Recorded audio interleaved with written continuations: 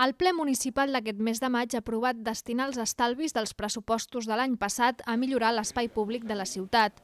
En concret, es duran a terme millores a parcs i jardins i al sistema d'enllumenat públic. A més a més, també s'aplicaran mesures de sostenibilitat energètica. Encara en l'àmbit econòmic, s'ha informat al plenari del compliment de l'objectiu d'estabilitat pressupostària durant el primer trimestre d'aquest 2014.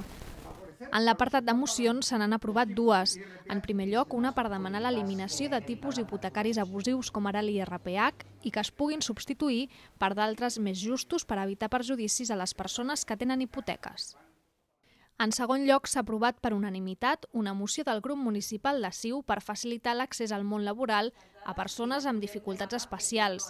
Es tracta de persones amb discapacitats, drogodependents o víctimes de la violència de gènere, entre d'altres. En el futur, el 5% dels contractes de l'Ajuntament o les empreses públiques de Viladecans beneficiaran aquests col·lectius.